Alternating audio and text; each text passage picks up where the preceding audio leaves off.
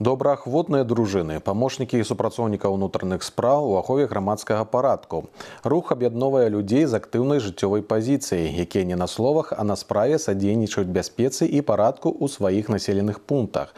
Как прыйсці на дапамогу людзям, добраахвотныя дружыны павінны мець пэўныя веды і навыкі. Праверыць іх узровень прызваны адмысловыя конкурсы. Вольга Барысевіч працягне. Гісторыя добраахвотных дружын у нашай краіне пачалася ў канцы 50-х гадоў мінулага стагоддзя.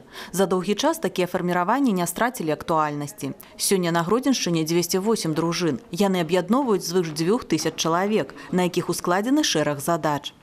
Это, конечно, взаимодействие с участковыми инспекторами, а, несение службы наружно со службой патрульно-постовой службы милиции, ну и взаимодействие с инспекторским составом. Выявление правонарушений очень помогают нам они в проверке лиц пожилого возраста с участившимися мошенничествами в сфере высоких технологий. Ходят, предупреждают, также профилактические буклеты разносят на предприятия, организации, то есть оказывают помощь э, участковым инспекторам милиции.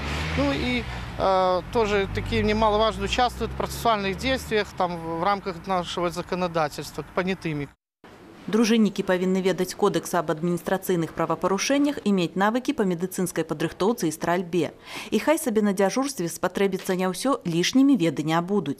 Наколькі памочнікі міліцыі падрыхтаваны і кампетэнтны, вызначыць прызваны адмысловы конкурс. У ленінскім раёне Гродна сёлета ўдзел у ім прынялі 8 дружын.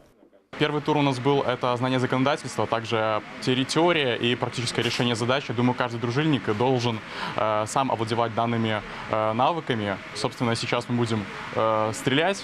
Э, также я не думаю, что это пригодится в нашей работе, но все же это имеет место быть. Э, также мы оказывали первую медицинскую помощь. Я считаю, что каждый дружинник должен уметь и знать, как оказывать первую медицинскую помощь. На юрыдычным факультэце купалаўскага універсітэта першая добраахвотная дружына была створана ў 2011 годзе. У сённяшняй больш за 30 чалавек. Стаць дружыннікамі студэнты могуць з 18 гадоў. Самі яны звяртаюць увагу. Гэта выдатны вопыт для нас, як для будучых юрыстаў, таму адмаўляцца ад яго не варта.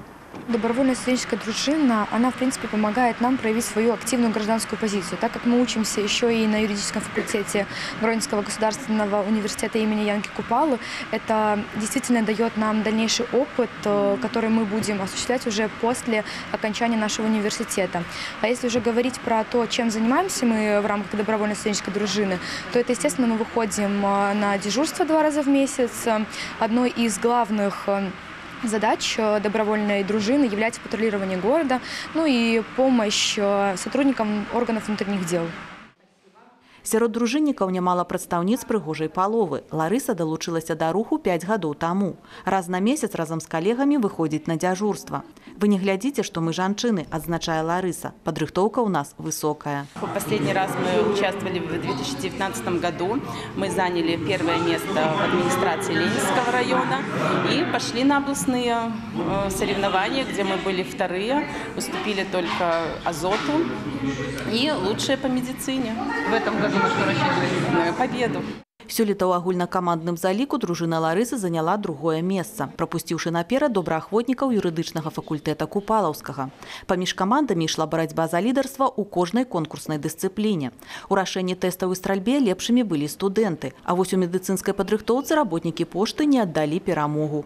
Стабільнасць падчас конкурсу паказала каманда гарбарнага аб'яднання. Яна і ў агульнакамандным заліку і ў дысцыплінах сёлета стала трэцяй.